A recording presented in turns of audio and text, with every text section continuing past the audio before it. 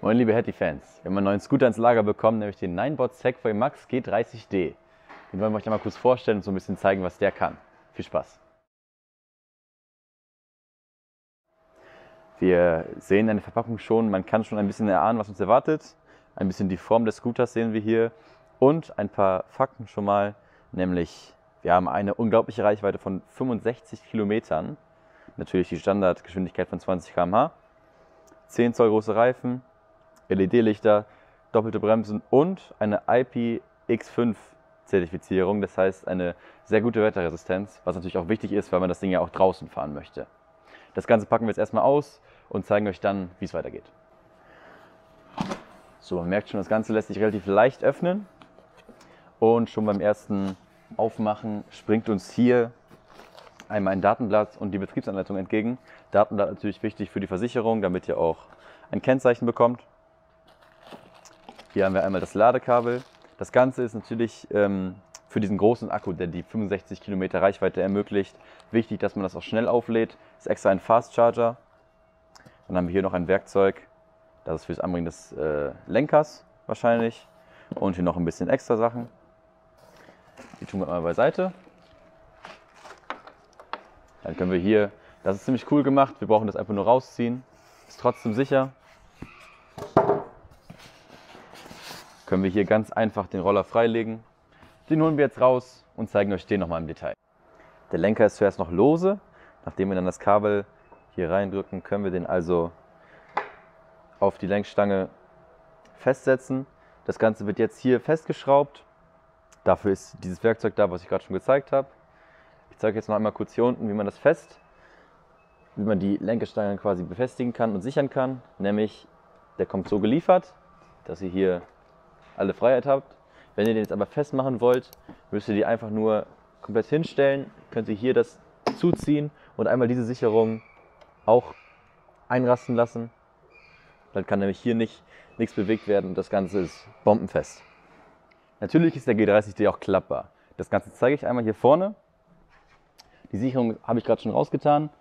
Dann klappe ich das hier einmal auf und schon ist die Lenkstange nach hinten klappbar wir haben hier an der Klingel diesen, diese Öse, die kann ich also hier über diese Aussparung legen und schon ist es fest. Das heißt, jetzt ist das Ganze sicher und ich kann den ganz einfach mittragen.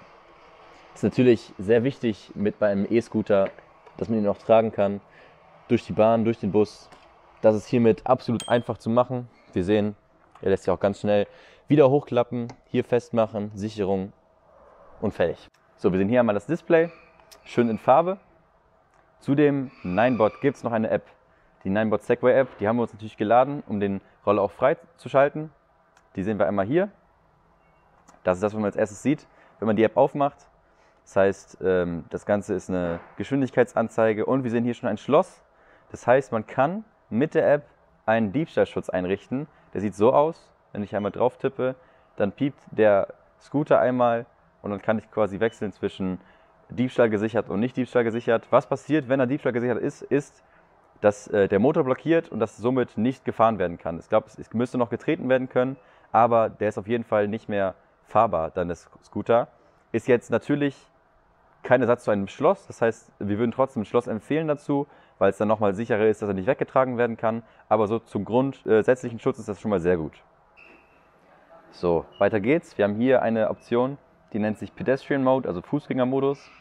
Wenn ich die aktiviere, dann, wenn wir einmal aufs Display schauen, sehen wir, hier steht noch Echo.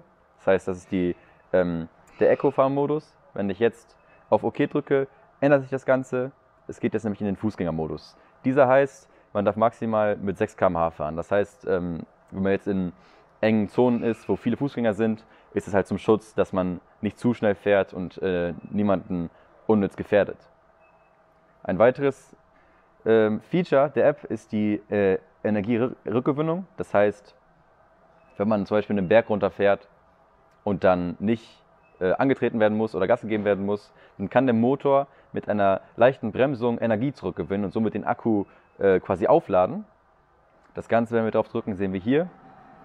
Wir können ähm, bei Energierückgewinnungsniveau äh, einstellen, wie stark wir das haben wollen. Wenn wir auf stark drücken, dann wird natürlich der Roller dann etwas stärker abgebremst, dabei wird mehr Energie zurückgewonnen, aber auch äh, ein bisschen der Fahrfluss ähm, unterbrochen. Das heißt, wir würden sagen, erstmal auf schwach lassen, sich daran gewöhnen und sich dann antasten.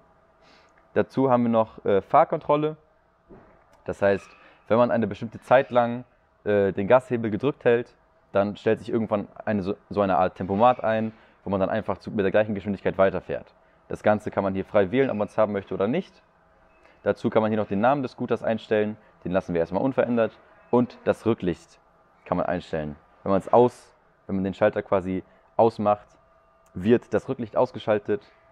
Wenn wir jetzt einmal, einmal schauen, dann kann ich jetzt das zeigen. Ich schalte das Rücklicht wieder ein und schon geht es an. Und ich kann es auch direkt wieder ausmachen. Also perfekt gelöst.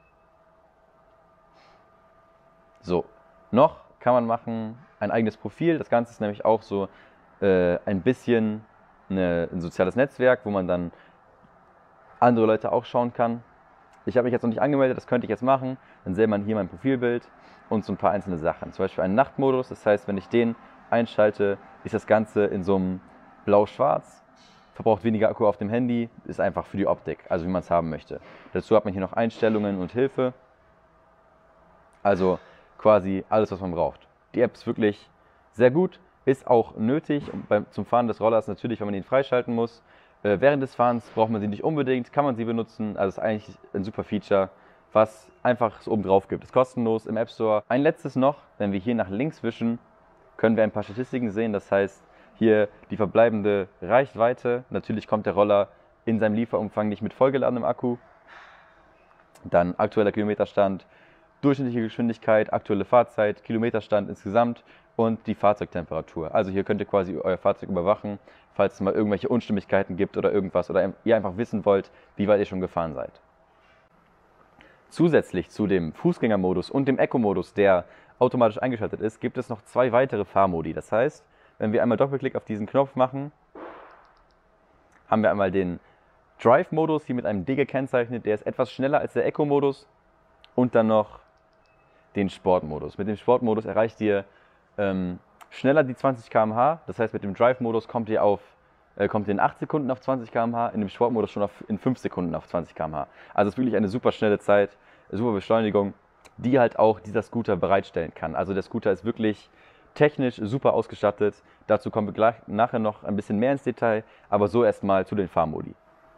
Insgesamt sehen wir beim Display nicht nur den Fahrmodus, sondern auch die Reichweite, die noch übrig ist, also hier der Akkustand und die Geschwindigkeit. Wenn wir uns den ganzen Lenker einmal anschauen, sehen wir hier, haben wir auf der einen Seite die beiden Bremsen, einmal eine Trommelbremse per Hebel und mit, diesen, mit dieser Vorrichtung eine elektromagnetische Bremse hinten. Auf der rechten Seite sehen wir den Gashebel, gleiche äh, Vorrichtung wie bei der elektromagnetischen Bremse und eine Klinge. Natürlich auch wichtig, wenn man äh, im Straßenverkehr unterwegs ist. Vorne haben wir ein direkt äh, angebautes LED-Licht für vorne. Genauso haben wir LED auch hinten. Haben wir gerade auch einmal schon gezeigt. Noch ein äh, Reflektor und das Ganze schließt auch schon oben alles ab. Insgesamt sehen wir natürlich, auch wenn hier jetzt noch ein bisschen Verpackung drüber ist, ist ein sehr stylisches Design vom Roller. Sehr modern. Also sieht äh, wirklich elegant aus. Kann man sich nicht beschweren. Das Ganze ist aus Aluminium gemacht. Das heißt, es ist komplett äh, aus Metall verarbeitet. Sehr hochwertige Verarbeitung insgesamt. Dazu kommen wir aber gleich nochmal im genaueren. An dem Ninebot Max G30D haben wir 10 Zoll Luftreifen. Diese sind schlauchlos und machen so das Fahrverhalten deutlich sanfter, deutlich stabiler. Also ist für euch, für den Komfort wirklich sehr gut. Außerdem haben wir im Inneren der Reifen, das kann ich jetzt natürlich nicht zeigen, eine spezielle Gelschutzbeschichtung, die ähm, Reifenpannen vorbeugt. Das heißt, ihr habt nicht nur ein sicheres Fahrgefühl, sondern auch eine spezielle Sicherung, damit die Reifen nicht so schnell kaputt gehen, was ja auch immer gerne gesehen ist. Dazu sagt man auf jeden Fall nicht Nein. Weiter hinten sehen wir hier einmal die Vorrichtung für den Akku. Das heißt, wenn wir hier aufklappen, können wir sämtliche Ladevorrichtungen anbringen. Wir sehen hier schon, das Trittbrett ist etwas gummiert. Wir haben hier so ein bisschen Grip-Textur ähm, drauf, genauso wie auch ähm, an den Griffen für die Hände am Lenker. Das Ganze sollte, das Ganze ist zwar IPX5 geschützt, also das bestätigt, dass der, ganze, dass der Roller äh, vor Strahlwasser aus allen Richtungen geschützt ist. Natürlich sollte man trotzdem aufpassen, dass dieses äh, rostfreie Aluminiumgestell nicht zu lang im Regen steht und nicht äh, durch die tiefsten Pfützen fährt, einfach nur aus rudimentären Sicherheitsgründen. Würde man jetzt auch mit anderen Sachen, die wasserdicht sind, nicht machen. Ist einfach ganz normaler Schutz. Aber wenn man mal durch Nieselregen fahren muss oder ein bisschen feuchtes Klima hat, ist das nicht schlimm. Das hält der Roller auf jeden Fall aus. So, am ersten Reifen, wie gerade schon gesagt, haben wir eine Trommelbremse angebracht. Hier sehen wir sie, wie sie betätigt wird. Außerdem natürlich ganz wichtig, Reflektoren an beiden Seiten sowie auch hinten. Die hintere Bremse ist eine elektromagnetische, hatte ich ja gerade schon einmal gesagt. Ähm, aber neben der Bremse ist hinten am Reifen auch der Motor angebracht. Dieser hat 36 Volt und ist 350 Watt äh, leistungsstark. Das ist nämlich die Dauerleistung, die sehr ordentlich ist und damit natürlich auch den Sportmodus der schneller beschleunigt, äh, ermöglicht. Das wäre sonst nicht möglich. Nochmal kurz zum Akku. Dieser ist 15,3 Ampere-Stunden groß, was wirklich riesig groß ist und ermöglicht so die Reichweite von 65 Kilometern. Diese ist im Sportmodus natürlich nur noch auf 50 Kilometer, weil der sehr viel anspruchsvoller ist für den Akku. Das ist aber trotzdem noch weit über dem Durchschnitt, was so auf dem Markt gibt. Wir sind hier also wirklich im absoluten Premium-Bereich. Das Ganze wird in sechs Stunden von dem Schnellladenetzteil aufgeladen. Das ist wirklich wenn man jetzt äh, insgesamt schaut, eher Durchschnitt, aber dafür, dass der so riesig groß ist, ist das wirklich eine sehr schnelle Zeit. Also der Fast Charger macht sich hier auf jeden Fall belohnt. Dieser riesige Akku macht sich natürlich auch im Gewicht bemerkbar. Dieses liegt bei 19,5 Kilogramm, ist jetzt im Vergleich tendenziell eher schwer, aber dadurch kriegt man wirklich einen sehr robusten Roller. Das heißt, nicht nur äh, trägt der Akku zu diesem Gewicht bei, sondern auch die Verarbeitung. Wir haben wirklich einen sehr stabilen Roller, sehr gute Verarbeitung, es ist alles geht nahtlos ineinander über, man fühlt sich beim Fahren sehr sicher. Außerdem wenn man bedenkt, dass der Roller 65, also wirklich 65 Kilometer schafft, sind die 19 Kilo schon fast wieder vergessen. Also diese, äh, dieses Verhältnis von Reichweite zu äh, Ge Gewicht ist wirklich unschlagbar. Kriegst du so auf dem Markt fast bei, zwei, bei keinem zweiten Roller. Und dazu kommt ja auch noch, dass der gute Roller nur 799 Euro im Hertie Shop kostet. Das heißt, viele Roller, die weit über 1000 Euro kosten, schaffen nicht das, was dieser Roller kann. Und das Verhältnis ist einfach so gut, das ist wirklich nur zu empfehlen.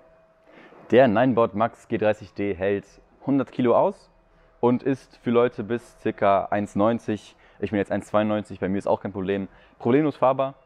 Das heißt, die meisten Leute müssen zu diesem Roller passen.